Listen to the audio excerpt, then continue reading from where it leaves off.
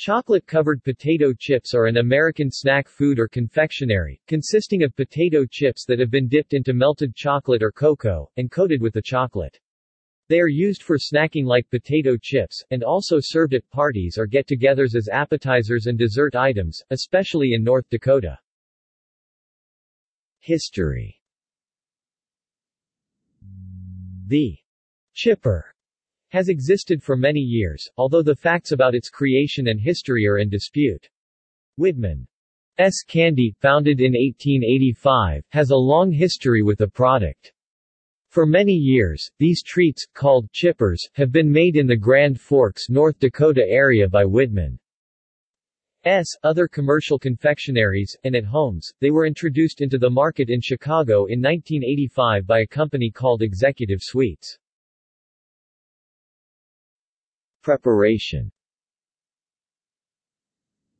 The potato chips used are usually the regular or plain-tasting ridged-shaped potato chips. Ridged chips are used because they tend to be more sturdy and can hold the heavy chocolate. It also allows the chocolate flavor to be enhanced as the chocolate is allowed to build between the ridges of the chip. The kind of chocolate used is usually milk chocolate that is easily tempered for coating other foods. The tempering of chocolate is to lend an attractive glossy appearance to the chocolate after it has been melted to the consistency for dipping. Chocolate-covered potato chips may also be found in the gourmet section of grocery stores or at a specialty food store. See also